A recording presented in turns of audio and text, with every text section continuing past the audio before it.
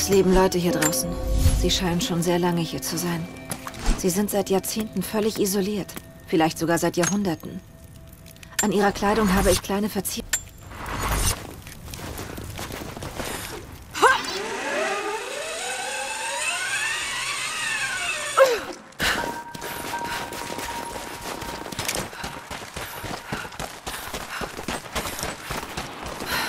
Ich kann nichts für ihn tun. Infos. Konstantin ist vom Gefängnis hier.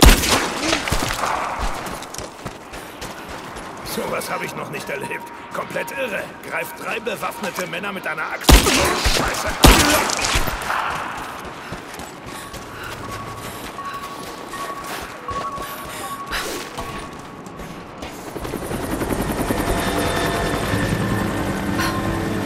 Noch mehr von ihnen.